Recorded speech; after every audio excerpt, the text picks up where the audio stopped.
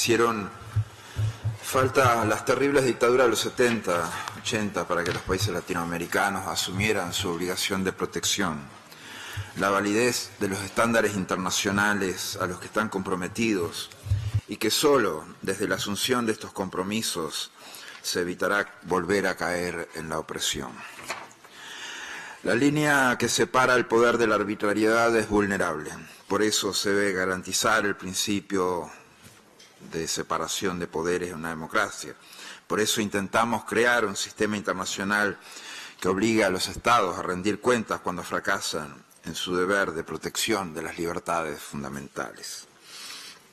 Los acontecimientos en Nicaragua durante las últimas semanas han aumentado mi preocupación respecto a la situación del país y de su gente.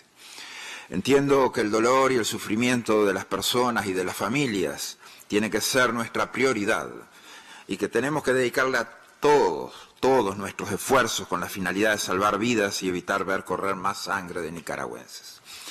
No podemos convivir en las Américas con episodios tan trágicos y violentos como los que han llevado la vida de centenas de personas desde el 18 de abril hasta hoy. Creo que es absolutamente imperativo que el país deje esta senda de enfrentamiento fratricida y resuelva sus diferencias en el marco del Estado de Derecho. Desde la Secretaría General de la Organización de los Estados Americanos estamos convencidos que tenemos que insistir en el camino de la paz y el reencuentro. Y vemos la necesidad inmediata de asegurar ciertas variables que puedan conducir a disminuir los niveles de encono actualmente existentes.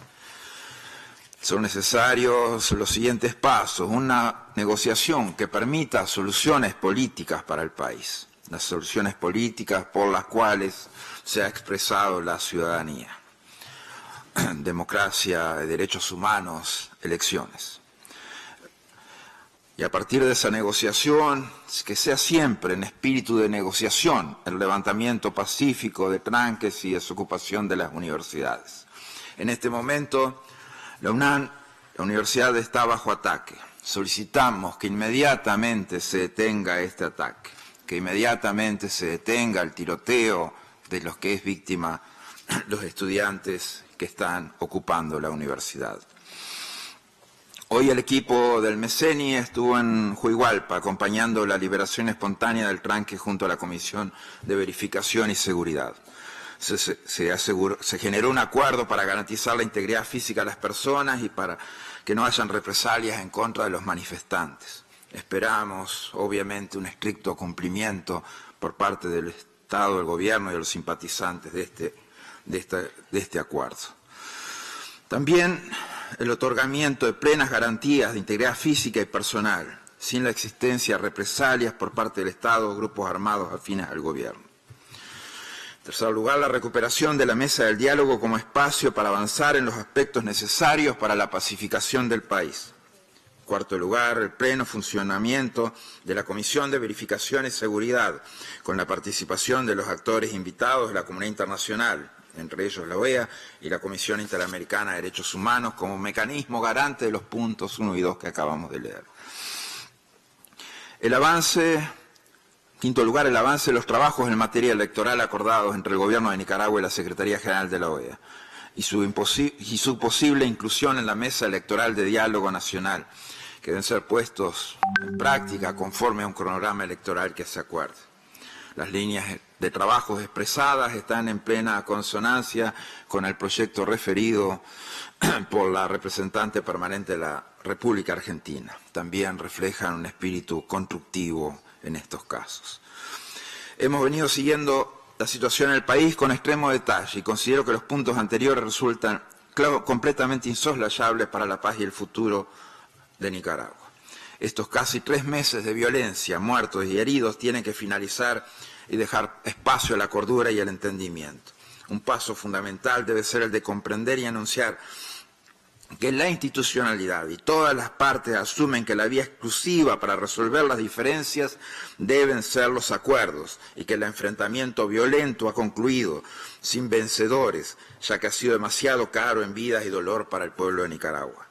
Para llevar adelante estos pasos, cuenta usted todos en Nicaragua, ustedes, el apoyo político y técnico de la Secretaría General de la OEA y de la CDH.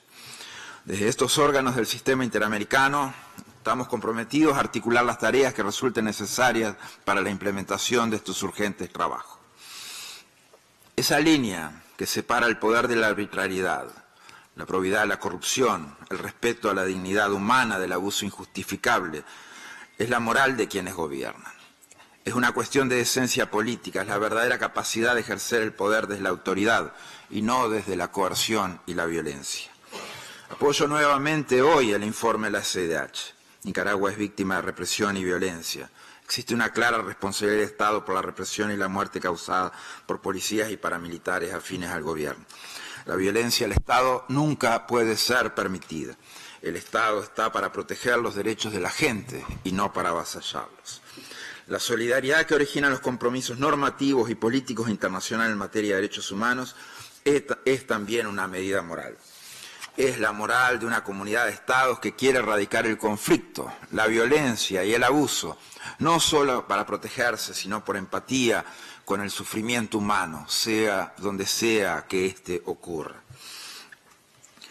Tanto quienes apoyan la barbarie como quienes callan ante ella están ciegos ante la realidad y han perdido todo sentido de humanidad. No podemos de ninguna manera ser indiferentes o neutrales ante la represión del Estado ni la violencia de grupos militares, paramilitares. Tampoco podemos tomar partido por ningún violento de ningún lado, porque eso solo retroalimenta la violencia. Asumamos la responsabilidad internacional de ayudar al pueblo nicaragüense de propiciar el acuerdo político necesario para restaurar la paz y la prosperidad. Lo he dicho reiteradamente, lo peor que le puede pasar a Nicaragua es seguir muriendo. Tenemos una posibilidad de lograr hacer rendir cuentas a los responsables de la diplomacia y la justicia, pero está en nuestras manos también impulsar los necesarios acuerdos. Es hora de demostrar que el sufrimiento de la gente no se importa, y que no hemos perdido nuestro sentido de humanidad, ni el valor de la dignidad humana, que queremos soluciones democráticas para la democracia, soluciones pacíficas para alcanzar la paz, que tenemos un sentido de responsabilidad histórica que prevalece, que no nos hemos olvidado de las injusticias y del terror del pasado. Ya hemos de, debemos actuar ya. La sangre derramada en Nicaragua las centenas de muertos es prueba de que estamos tarde. El camino que se ha tomado es distinto que el que propusimos. Desde el comienzo nuestra propuesta fue detener la violencia. Las herramientas para lograrlo son políticas, las establecidas en la Carta Democrática Interamericana, instituciones democráticas, respeto a las libertades fundamentales, elecciones limpias, transparentes, justas, pluralismo político y justicia. El camino que se tomó fue otro, fue el de la violencia, fue el de la represión. Por eso cada vez estamos más lejos en un círculo vicioso que se retroalimenta permanentemente esas variables de muerte. Son ejemplos de ello los cientos de manifestantes asesinados en estos meses, los cuatro policías asesinados ayer. Teníamos razón, o íbamos a elecciones o íbamos a la muerte de cientos en Nicaragua. La, falta de respuesta a esto significará más muerte.